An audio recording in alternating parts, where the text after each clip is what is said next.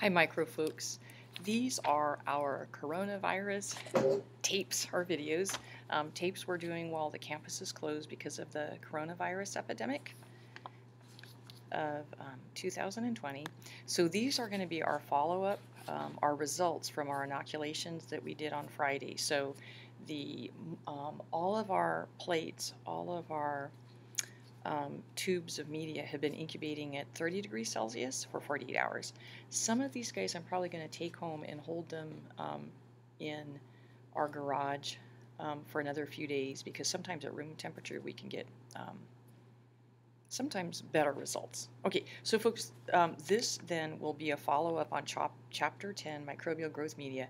This is the follow-up on our airborne microbe experiment. And you'll recall that um, the goal was to sample airborne microbes, and the way we did this was that we took our agar plates and then we removed the lids. Um, one set of plates, we left the lids off for 30 minutes, uh, letting the microbes fall onto the surface of the agar. And then a second set of plates, we left the lids off for 60 minutes. So the idea is, is that as the airborne microbes fall onto the surface of the agar, if they have the transport proteins to transport nutrients in from the agar um, and have the enzymes to use those nutrients, the cells will start dividing. And within 24 to 48 hours, we should see um, colonies. So, colonies often are um, visible with an naked eye. So, this is our TSA 60 plate, and I can see this is going to be a problem. Maybe I should do it like that. And you can see on this TSA 60 plate, there's a number of little dots there, like big ones and little tiny ones. Those are all colonies, and our presumption is that each colony arose from a single microbe, either a bacterium or a fungus, landing on the medium and um, starting to grow and divide. So colonies can have, uh, on average, between 10 to the 8th to 10 to the 9th cells in a colony, and we presume they're genetic clones of one another um, since they all um, arose from a single either bacterial or fungal cell. And again, the cool thing with colonies, we can see they differ. They differ in size, and we're going to see other properties um, such as pigments and the um, the characteristics of their border or edge, that their textures, their elevation. So we presume that different types of microbes make different types of colonies. So by doing um, colony counts, we can get an idea of the total number of microbes that landed on the plate and could grow. And then by um, counting the different types of colonies, we can get a feel for the variety of microbes that are growing on our plate. So I'll tell you what we were hoping the results would be. And what's so fun about microbiology, working with living organisms, is they never read the textbook, they never read the lab manual, so they never know how they're supposed to behave. And this experiment was a good example of that, how the microbes didn't behave quite as we had hoped. So folks, the idea would be that if at 30 minutes, I'll just use this as an example, if at 30 minutes exposure, let's say we had a total of 30 colonies growing on our plate, the hope would be, not the hope, but our prediction would be if we doubled the exposure time, um, we would predict we, we should see roughly twice as many colonies. So if there were 30 um, colonies on our 30 minute exposure plates, we would predict there should be around 60 colonies on the 60 minute exposure plate. Now, for our particular experiment, it didn't turn out like that, and I think I know why. Um, I had the plates exposed right here in front of me while I was doing the taping, and I was holding um, diagrams and pictures up over the plates. And I think um, for that reason, our 30 minute plates, because they were closer to my field where I was working, our 30 minute plates got more heavily contaminated than the 60 minute plates. So if um, in the real world, if we had time, when we get goofy results like this, we would repeat the experiment after analyzing what we might have done wrong. But I'll just give you our results, folks. So you recall that we used two different media. The tryptic soy agar, which is all-purpose media, should grow a wide range of bacteria and fungi. And then we use the Sabouraud's dextrose media, which is selective for fungi.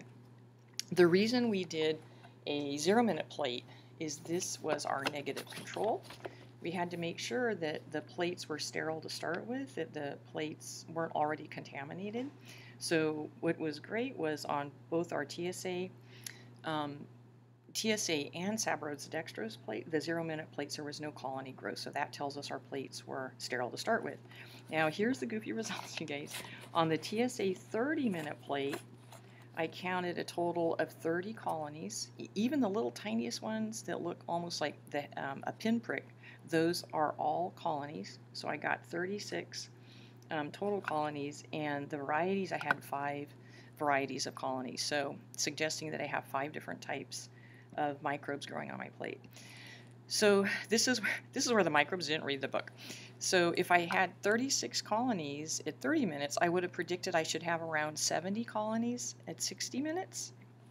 And of course, it didn't turn out like that. So at TSA 60 minutes, I only got 40, 41 colonies, right? So lower than the 70 I would have predicted. And one hypothesis is these 60 minute plates were working further away from my where I was showing the diagrams and my I was working with my hands. So it might be that the 60 minute plates um, were in an area of the bench where they just weren't going to um, um, there weren't going to be as many airborne microbes landing on the plates. So again, if, if I were to repeat this, I'd set up the plates um, on an empty bench and, and walk away, right? So there wasn't any human interference. Um, so again, on our 60-minute plates, I got a total of 41 colonies, but the varieties did increase. So I got 10 different types of microbes growing on the um, the 60-minute plate. So that was interesting. I only had five on the 30-minute plate. Okay. And then, folks, we would predict on our Sabouraud's dextrose media, um, we would predict we'd see fewer colonies. And the reason is, remember, the tryptic soy agar, it's all-purpose. It should grow a wide range of both bacteria and fungi. In contrast, the Sabouraud's dextrose, it's selective for fungi. Um, through the high um, dextrose or glucose concentration and the low pH, we're going to inhibit a lot of um, bacterial colonies. So again, the SAB, the SAB zero minute exposure, no colony growth, so that tells us the plates were, were sterile, and that's awesome. And then on the um, SAB 30 minute plates, I have 11 colonies, and that is consistent um, we had like 36 colonies on the TSA 30 plates. On the SAB, we only have 11. Um, so we would presume that on the SAB plate, we only have fungi, such as yeast and molds growing. We shouldn't have bacteria or very few bacteria. So that would suggest that on our TSA plate, about um, about what 25 of the colonies probably were bacterial. Okay.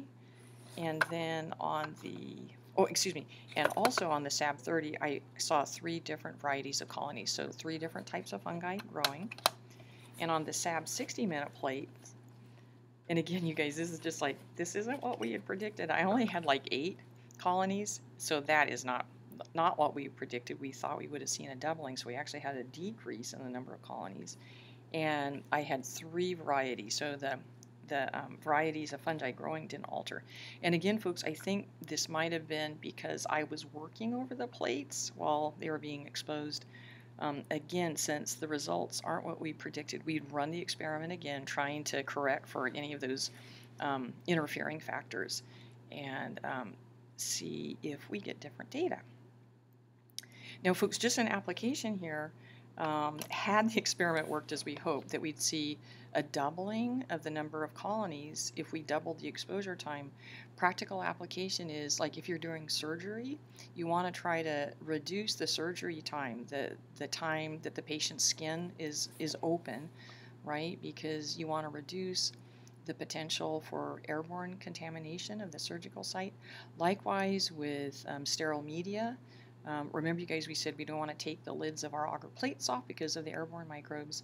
And any kind of sterile instruments, once you take them out of their wrapping, right, they're going to, that's when contamination begins with airborne microbes. So we always want to try to reduce the time that sterile media, sterile surgical instruments, um, um, we want to reduce the time that they're exposed to air to reduce the chance of airborne contamination. And likewise with any kind of surgery, you want to reduce the time that the skin is open or mucous membranes are open. Okay, folks, I think that's it for airborne microbes. So we'll stop this one and then we'll do um, we'll do the next one will still be chapter 10 and we're going to look at the blood agar plates. Yeah, I did a throat, nose, and gum swabs. So we'll look at the um, hemolysis on the blood agar